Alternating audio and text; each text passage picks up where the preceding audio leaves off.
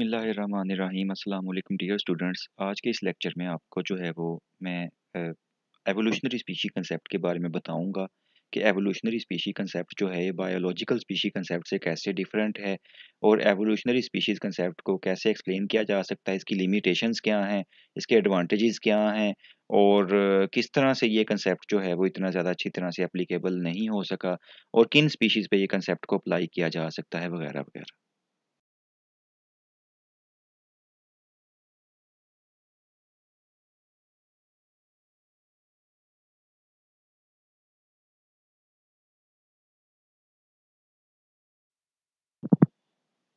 I am Umar Rashid, lecturer in zoology from University of Education Faisalabad campus.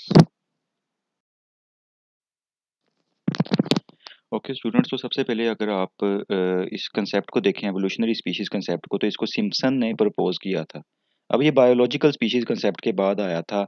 अब अगर इस concept में आप देखें तो कुछ आथर्स जो हैं वो पहली लाइन में आपको बता रहा है जैसे पेलियोटोलॉजिस्ट थे वो बायोलॉजिकल स्पीशीज़ कंसेप्ट से सेटिस्फाइड नहीं थे। अब वो क्यों इससे सेटिस्फाइड नहीं थे? क्योंकि वो कहते थे कि ये वाला जो कंसेप्ट है, ये सिर्फ़ नॉन डायमेंशनल सिचुएशन में अप्लाई किया जा सकता है। अब नॉन डायमेंशनल सिचुएशन से क्या मुराद है? कि अगर तो स्पीशीज़ एक सेम प्लेस पे सेम टाइम पे पाई जाती हों तो उनको नॉन डायमेंशनल स्पीशीज़ कहा जाता है। यानी सिम्पैट्रिक और सिंक्रॉनिक जो पॉपुलेशन होती हैं एक स्पीशी की, उनको क्या कहते हैं हम नॉन डायमेंशनल स्पीशीज़ का नाम देते हैं। तो इट मीन्स कि अगर तो स्पीशीज़ जो है वो सेम प्लेस पे सेम टाइम पे पाई जा रही होंगी, यानी उनका टाइम पीरियड भी सेम है और जगह भी सेम है तो उनको तो हम मान लेते हैं बायोलॉजिकल स्पीशीज़ लेकिन अगर जो है एक सेम प्लेस पे सेम टाइम पीरियड के अंदर जो है दो ऑर्गेनिजम्स ना पाए जाते हों मतलब फॉर एग्ज़ाम्पल वहाँ पर कोई फॉसल पड़े हुए हों तो उनके लिए आप क्या करेंगे? क्या वहाँ पे बायोलॉजिकल स्पीशीज़ कंसेप्ट अप्लाई किया जा सकता है? तो आपके माइंड में क्वेश्चन आएगा कि नहीं, वहाँ पर तो अप्लाई नहीं किया जा सकता। तो उस सिचुएशन के अंदर जो है बहुत बड़ी एक लिमिटेशन आ जाती है बायोलॉजिकल स्पीशीज कंसेप्ट की। तो इसीलिए फिर जो है सिम्पसन ने एक ऐसी डेफिनेशन प्रपोज की जिसके अंदर उसने एवोल्यूशनरी क्राइटेरिया को भी उसके साथ रखा बायोलॉजिकल स्पीशी कंसेप्ट के अंदर। और सिम्पसन ने जो था एक डेफिनेशन प्रपोज की थी, जिस जो एवोल्यूशनरी स्पीशीज़ की कंसेप्ट की एक डेफिनेशन है। जैसे आप नीचे ये देख सकते हैं कि an evolutionary species is a lineage an ancestral descendant sequence of populations evolving separately from others, and with its own unitary evolutionary role and tendencies अब अगर आप इस डेफिनेशन पर गौर करें स्टूडेंट्स तो इसमें एक तो ऊपर आपने देखा कि नॉन डायमेंशनल सिचुएशन के अंदर सिर्फ़ बायोलॉजिकल स्पीशी कंसेप्ट अप्लाई हो सकता है। और नॉन डायमेंशनल सिचुएशन क्या है कि जिसमें हम सिर्फ़ और सिर्फ़ लोकल फॉर्म्स को देख रहे होते हैं और हमें नहीं पता होता है कि दो डिफरेंट जो हैं या रिलेटेड ऑर्गेनिजम्स की जो फॉर्म्स नज़र हमें आ रही हैं। उनके अंदर बहुत सारी जो हैं वो इंटरग्रेडिंग यूनिट्स भी हो सकते हैं, जिनका हमें नहीं पता होता है। मतलब हमारे नॉलेज में ही नहीं होता कि अगर एक एरिया में दो स्पीशीज़ पाई जा रही हैं या एक ही स्पीशीज़ की मुख्तलिफ़ फॉर्म्स हैं तो हो सकता है कि उनकी भी आगे जो है वो फर्दर जो है दरमियान वाली कुछ जो है वो टाइप्स हों जो उस एरिया के अलावा भी कहीं ना कहीं पाई जाती हों। तो ऐसी सिचुएशन में, और वो टाइम फ्रेम किस पीरियड के लिहाज से होगा कि वो उसमें एवोल्यूशन को इंडिकेट कर रही होंगी। तो इस सिचुएशन के अंदर क्या होगा? एवोल्यूशनरी स्पीशी कंसेप्ट को अप्लाई किया जा सकता है। तो एवोल्यूशनरी स्पीशीज की उसने डेफिनेशन में आपको बताया हुआ है कि ये एक ऐसा लीनियज है, ये ऐसा एक शजरा नसब है, जिसमें आप अनसेस्ट्रल डिसेंडेंट सीक्वेंस को लेके चलते हैं पॉपुलेशन की, और हर पॉपुलेशन का अपने अनसेस्टर्स होंगे और अपने डिसेंडेंट होंगे, और बिल्कुल डिफरेंट होंगी दूसरी पॉपुलेशन से। यानी उनका अपना एक यूनिटरी एवोल्यूशनरी रोल होगा, उनकी अपनी टेंडेंसीज होंगी, जिसकी वजह से क्या होगा, वो बाकी तमाम पॉपुलेशन के जो उस एरिया में होंगी उससे वो क्या होंगी डिफरेंट होंगी। यानी इसमें क्या होता है कि एक स्पीशी है, इस कंसेप्ट के मुताबिक उसमें क्या होता है, बहुत सारे ऑर्गेनिजम्स होते हैं, वो अपनी आइडेंटिटी को मेंटेन करते हैं और वो क्या होता है उनकी आइडेंटिटी मेंटेन रहती है थ्रू टाइम एंड स्पेस और उनका अपना इंडिपेंडेंट एवोल्यूशनरी फेट होती है और अपनी उनकी एक हिस्ट्री होती है और इसके अंदर जो है वो ऑपरेशनलिज्म जो होती है एबजेंट होती है और इसमें फिक्स्ड डायग्नोस्टिक डिफरेंसेस जो है उनको देखा जा सकता है, जिसको हम अगली स्लाइड्स में देखते हैं। ओके okay, स्टूडेंट्स अगर आप इस कंसेप्ट को देखें तो अभी इस स्लाइड में आपको इस कंसेप्ट के कुछ ड्रॉबैक्स बताए गए हैं एवोल्यूशनरी स्पीशी कंसेप्ट के।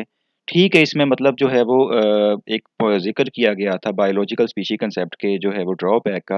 लेकिन इसमें भी कुछ ड्रॉबैक्स हैं। जैसे अब पहला ड्रॉबैक आप देखें तो इसमें बताया गया है कि ये फाइलेटिक लीनियज की जो है डेफिनेशन को एक्सप्लेन कर रहा है कंसेप्ट ना कि स्पीशीज़ की एक डेफिनेशन को। मतलब ये एक एवोल्यूशनरी स्पीशी कंसेप्ट की डेफिनेशन नहीं है।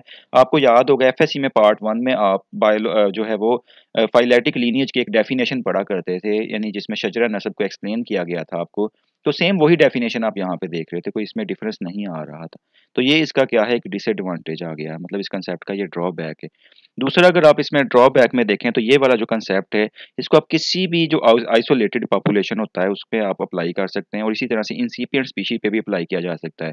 अब इंसिपियंट स्पीशीज क्या होती हैं, वो स्पीशीज होती हैं, जो कि एक नई स्पीशी बनने के मरहले में करीब करीब होती है। मतलब वो एक नई स्पीशी बनने के करीब होती हैं, लेकिन अभी बनी नहीं होती जैसे फॉर एग्ज़ाम्पल सब स्पीशीज से आगे आपको पता है कि जो है वो सेमी स्पीशीज बनती हैं स्पीसीएशन के अमल में।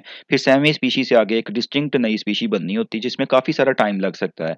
तो अब जो इंसिपियंट स्पीशीज होती हैं, ये एक नई स्पीशी बनने के मरहले में होती हैं, लेकिन अभी नई स्पीशी ये मुकम्मल तौर पर नहीं बनी होती हैं।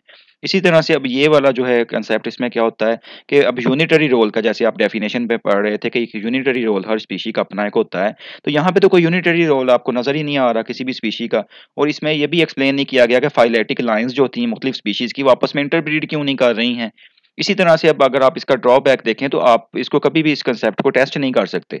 मतलब ये कभी भी जो है वो टेस्टेबल नहीं है और आपको नहीं पता चलता है कि जो स्पीशीज़ होती हैं, उनके अनसेस्टर्स जो हैं वो क्या कॉमन अनसेस्टर थे या नहीं थे, क्या उनकी डिफरेंट एवोल्यूशनरी हिस्ट्री थी या कॉमन थी, इसके बारे में आप कोई भी टेस्ट नहीं परफॉर्म कर सकते हैं। जस्ट ये एक अजम्पन्स हैं जिसकी बुनियाद पर यह कंसेप्ट रखा गया था। तो अब सिम्सन जो था, इसकी प्रॉब्लम्स को अगर आप देखें तो वो जो स्पीशीज़ को उसने डेलीमिट करना था टेक्सॉन्स के अंदर टाइम डायमेंशन के हिसाब से वो भी एक बहुत बड़ी प्रॉब्लम थी, जिसकी वजह से वो टाइम डायमेंशन के हिसाब से जो था स्पीशीज़ को नहीं अरेंज कर पाया था। इसी तरह से इसमें अगर आप इसकी डेफिनेशन देखें तो वो भी इसको हेल्प आउट नहीं कर रही, इस कंसेप्ट को अप्लाई करने में कि आप स्पीशीज़ को अरेंज कर सकते हैं विद टाइम डायमेंशन और आप हर स्पीशी को एक्सप्लेन कर सकें कि इसका कैसे एंसेस्ट्रल डिसेंडेंट सीक्वेंस चलती जा रही थी। तो ये इसके कुछ ड्रॉबैक्स हैं इस कंसेप्ट के एडवांटेज में अगर आप देखें तो इसमें जो है इसने जो इंटरमीडियंट हाइब्रिडाइजेशन का जो प्रॉब्लम था, उसको इसने सॉल्व आउट किया इस कंसेप्ट ने। और इसमें जो था, फिर वो जब तक अल्टीमेट एवोल्यूशनरी ट्रेजेक्ट्री को जो है ये कंसेप्ट डिस्टर्ब नहीं करता, तब तक क्या होता है कि ये कंसेप्ट आप अप्लाई कर सकते हैं। इसी तरह से इसने कलोनल जो लीनियजीज आ रहे होते हैं मतलब कलोन्स आपको पता है अक्सर स्पीशीज़ के जो होते हैं, वो कलोन बन जाते हैं जैसे। तो उसमें क्या था कि उनके कॉमन एंसेस्टर शो हो रहे होते हैं, और वो क्या होते हैं, वो एक स्पीशी बना देते हैं। मतलब क्लोन्स जितने भी हैं, उनके एंसेस्टर्स क्या होंगे, वो कॉमन होंगे तो इस तरह से इस कंसेप्ट के ज़रिए वो भी एक्सप्लेन किया जा सकता है पॉइंट को। लेकिन दूसरी तरफ़ जो है वो यूनिटरी रोल को और इसी तरह से स्पीशीज़ को टाइम डिमेंशन के हिसाब से अरेंज करने के लिए कोई भी आप टेस्ट नहीं परफॉर्म कर सकते। आप उनको कोई भी किसी भी तरह से अरेंज नहीं इस तरीके से कर सकते, जब तक कि आप उसे टेस्ट ना कोई भी परफॉर्म उसके लिए करें। और टेस्ट कोई भी इसमें परफॉर्म करना ईजी काम नहीं है।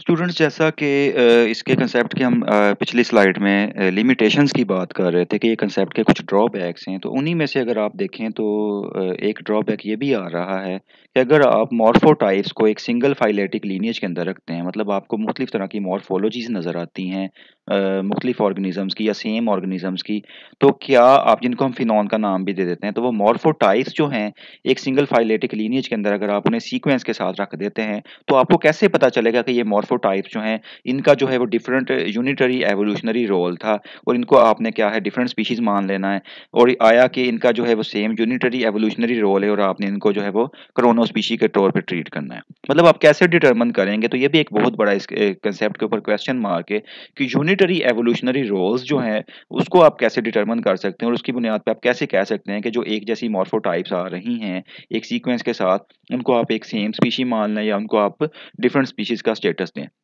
और यहाँ पे आप एक टर्म सुन रहे हैं वो है क्रोनो स्पीशीज़ की। तो क्रोनो स्पीशी क्या है? अगर आप इसकी डेफिनेशन देखें तो, तो a chronospecies is a species drive from a sequential development pattern that involves continual and uniform changes from an extinct ancestral form on an evolutionary scale अब इसमें देखें स्टूडेंट्स तो मतलब इसकी डेफिनेशन में ये बताया गया है कि जो क्रोनो स्पीशीज़ होती हैं, इनके एंसेस्टर्स जो होते हैं, वो बिल्कुल और तरह की मॉर्फोलॉजी रखते थे। मतलब उनकी मॉर्फोलॉजी को कह लें या उनको फिजिकली कह लें या उनको जेनेटिकली कह लें तो वो बिल्कुल डिफरेंट हुआ करते थे than that of their descendants मतलब एंसेस्टर्स उसके कुछ और तरह के थे और आहिस्ता आहिस्ता उनके अंदर क्या हुआ डेवलपमेंट के साथ साथ चेंज आता चला गया, जिसकी वजह से वो यूनिफॉर्म चेंजेस उनके अंदर आहिस्ता आहिस्ता जो आती गई। इसकी वजह से फिर क्या हुआ कि जो नए आगे उनके बच्चे बने, जो प्रोजनी बनेगी, वो बिल्कुल अपनी उस अनसेस्ट्रल फॉर्म से डिफरेंट हो चुकी होगी। तो ऐसे डिसेंडेंट्स को हम क्या नाम देंगे उनको हम क्रोनो स्पीशीज़ का नाम दे रहे होते हैं। और क्रोनो स्पीशीज को अगर आप देखें तो इसकी चेंज के दौरान क्या होता है कि एक स्पीशीज होती है, वो एक ही टाइम के टाइम के अंदर आप देखेंगे कि वो जो होती है, वो बिल्कुल उसमें बंद रही होती है, उसके अंदर चेंज आ रहा होता है। और इसी तरह से क्रोनो स्पीशीज के रिलेटेड एक और टर्म भी यूज़ की जा सकती है, जिसको पैलियो स्पीशीज कहा जाता है। तो पैलियो स्पीशीज क्या होती हैं? वो एक्सटिंक्ट स्पीशीज जो होती हैं, जिनको अगर हम देखें तो सिर्फ़ फॉसल रिकॉर्ड के अंदर हमें मिल रही होती हैं। मतलब उनके आगे फिर बच्चे जो होंगे, वो क्रोनो स्पीशीज के तौर पर लिए जा सकते हैं। तो इस तरह से जो क्रोनो स्पीशीज होती हैं बेसिकली ये वो स्पीशीज हैं, यानी वो जिनके एंसेस्टर जो थे, उनकी मॉर्फोलॉजी जो थी बिल्कुल और तरह की थी फिजिकली मॉर्फोलॉजिकली या जेनेटिकली वो बिल्कुल डिफरेंट हुआ करते थे than that of their descendants तो ऐसे वो जो डिसेंडेंट्स को हम क्रोनो स्पीशीज का नाम दे रहे होते हैं राइट right? अच्छा अब इसमें, इस कंसेप्ट को अगर हम देखें तो इसकी मैंने कुछ वीकनेसेस आपको पहले भी स्टूडेंट्स बता दी हैं। अब अगर हम इस कंसेप्ट को वैसे देखें ब्रॉडली तो इसमें कुछ और वीकनेसेस भी आप देख सकते हैं। तो एवोल्यूशनरी स्पीशीज डेफिनेशन की पहली वीकनेस इसमें प्रिंसिपल वो बता रहा है, वो क्या है? कि it ignore the core of the species problem मतलब जो स्पीशीज़ के मसाइल हैं या जो प्रॉब्लम आ रहे होते हैं स्पीशीज़ को डिलिमिट करते हुए टेक्सोन्स के अंदर उसको ये क्या करता है? ये कंसेप्ट जो है वो इग्नोर कर देता है। मतलब इसकी डेफिनेशन में उसकी एक्सप्लेनेशन ही प्रॉपर नहीं दी गई हुई है। और इसमें लिमिटेशंस में अगर आप देखें तो आ, आ, इस कंसेप्ट की तो लिमिटेशन अपनी हैं ही हैं लेकिन मैंने आपको जैसे पहले बताया कि बायोलॉजिकल स्पीशी कंसेप्ट जो था वो क्यों नहीं कुछ जगह पे अप्लाई किया जा सकता? क्योंकि जैसे फॉर एग्ज़ाम्पल हम फॉसल्स को देखें तो फॉसल स्पीशीज़ के ऊपर तो बायोलॉजिकल स्पीशी कंसेप्ट आप अप्लाई नहीं कर सकते। क्योंकि बायोलॉजिकल स्पीशीज तो है, वो लिविंग स्पीशीज के ऊपर आता है अप्लाई होता है फॉसल्स के ऊपर वो अप्लाई नहीं किया जा सकता है। तो इसी तरह से जो है वो जो ए सेक्शुअली रिप्रोड्यूसिंग ऑर्गेनिजम्स होते हैं, जो सेल्फ फर्टिलाइजेशन करते हैं, उनके ऊपर भी बायोलॉजिकल स्पीशी कंसेप्ट को अप्लाई नहीं किया जा सकता है। इसी तरह से जो सेक्शुअल ऑर्गेनिजम्स होते हैं, जिनमें ओपन मेटिंग सिस्टम्स होता है मतलब जो हाइब्रिडाइज हो सकती हैं, उनके अंदर भी बायोलॉजिकल स्पीशी कंसेप्ट को अप्लाई नहीं किया जा सकता है। तो इसीलिए फिर उस कंसेप्ट की जगह पर ये वाला कंसेप्ट आया था, और इस कंसेप्ट के अपने भी मसाइल हैं, जैसे अब यहाँ पे प्रिंसिपल वीकनेस आपको बताई जा ਜਾ ਰਹੀ ਹੈ ਕਿ it ignores the core of the species problem the causation and maintenance of discontinuities between contemporary species मतलब जो एक ही ज़माने की जो स्पीशीज़ होती हैं, उनके दरमियान जो है वो क्यों डिसकॉन्टीन्यूटीज़ आ जाती हैं, उसको एक्सप्लेन ही नहीं किया जाता है कि वो क्यों ऐसे होता है कि अचानक से वहाँ पे वो जो है डिसकॉन्टीन्यूटी आ जाएगी एक स्पीशी के लीनियज के अंदर। और इसी तरह से ये जो है कंसेप्ट इसको अगर आप देखें, ये स्पीशीज़ टेक्जोन्स को जो है वो कंसनट्रेट कर रहा है बनस्बत इसके कि उसको डेलीमिट कर सके टाइम डायमेंशन के हिसाब से। मतलब जो स्पीशीज़ होती हैं, उनको टाइम डायमेंशन के हिसाब से ये कंसेप्ट जो है वो अरेंज करने से कासिर है या उनको एक्सप्लेन करने से भी कासिर है तो इस तरह से एक वाला जो कंसेप्ट है, यहाँ पे आके इसकी ये मेजर एक लिमिटेशन आ जाती है कि आप स्पीशीज़ को ये तो कह रहे हैं कि ये टाइमली जो है वो चेंज हुई है with the passage of time लेकिन आप उनको जो है वो उस टाइम फ्रेम के हिसाब से अरेंज नहीं कर सकते आपके पास कोई ऐसा टेस्ट नहीं है जिससे आप चेक कर सकें कि ये स्पीशीज़ जो हैं वो सेम हैं या डिफरेंट हैं या एक ही ऑर्गेनिजम्स की हैं या नहीं है।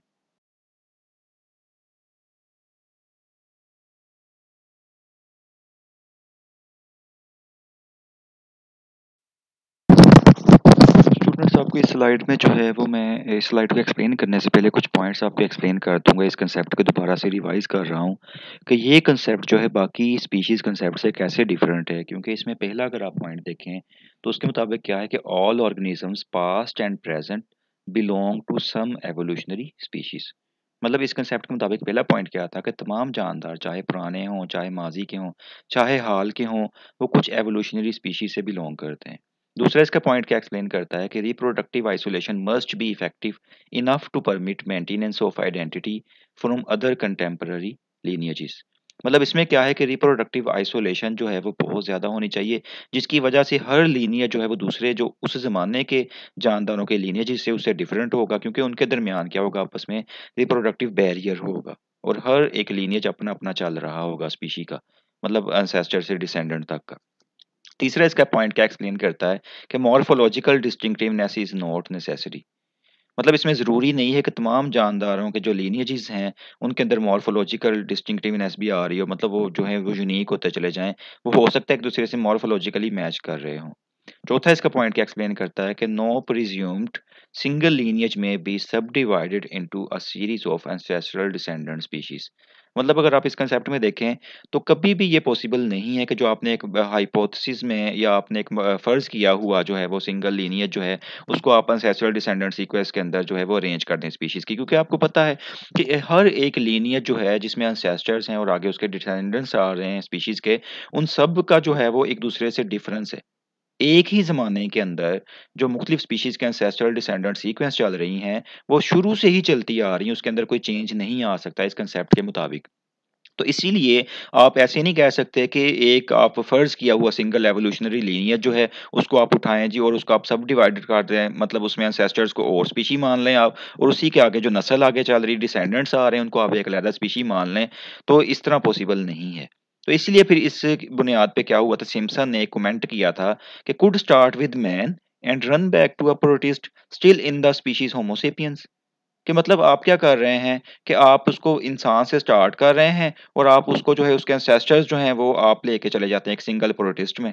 मतलब सिंगल सेल्ड ऑर्गेनिजम्स को आप उसके एंसेस्टर्स मान लेते हैं इंसान के। यानी इंसान का आपको पता है साइंटिफिक नेम क्या है? होमोसेपियंस है। जिसका तर्जमा क्या बनता? है वाइज मैन तो अब होमोसेपियंस को क्या आप उनके जो है वो एंसेस्टर्स एक प्रोटिस्ट को मान लेंगे? क्योंकि हर एक लीनियज का इस कंसेप्ट के मुताबिक क्या है? एक कॉमन एंसेस्टर है और उसमें जो है वो आगे जो उसके जो है वो नस्ल जा रही है, उनमें कोई चेंज नहीं आएगा।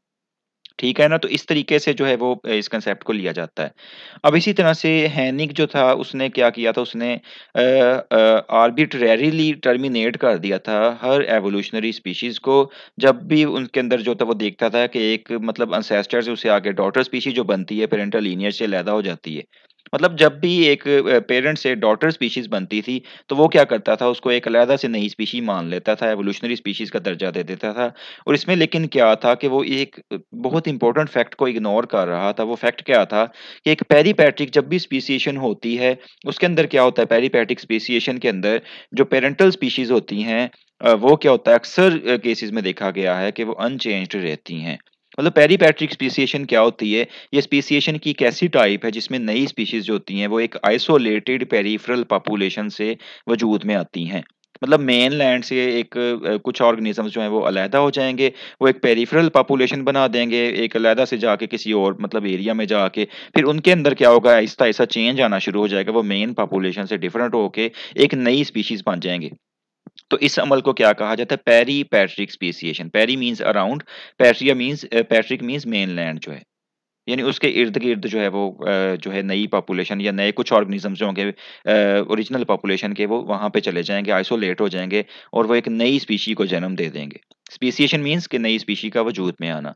तो इस तरीके की जो स्पीशी स्पीसिएशन हो रही होगी, उसको हम कहते हैं पेरीपैट्रिक स्पीसिएशन अब पेरीपैट्रिक स्पीसिएशन जो होती है, वो एलोपैट्रिक स्पीसिएशन से भी काफ़ी हद तक रिजेंबल करती है, क्योंकि इसमें दोनों के केसेस में क्या होता है कि पॉपुलेशन आइसोलेट कर रही होती हैं, और उनके अंदर जीन्स जो होती हैं, वो एक्सचेंज नहीं कर पाती, वो मेन पॉपुलेशन के साथ, जिसकी वजह से फिर क्या होता है, वो एक नई स्पीशीज़ में कन्वर्ट हो जाती हैं।